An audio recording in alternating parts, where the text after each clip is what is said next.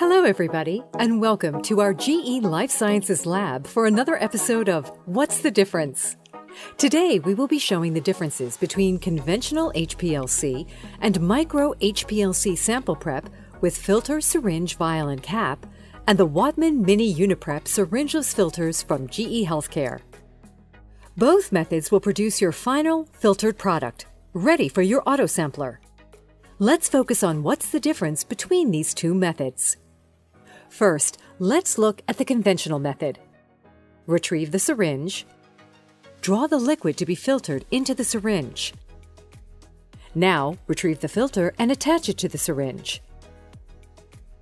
Retrieve the vial and filter your sample.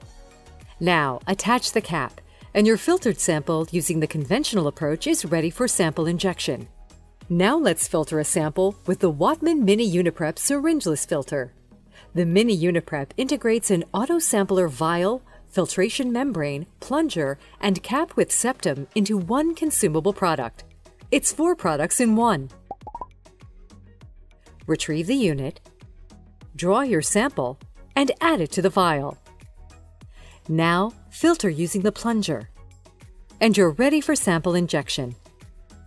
To avoid plastic-based leachables, use the glass version of the Mini Uniprep.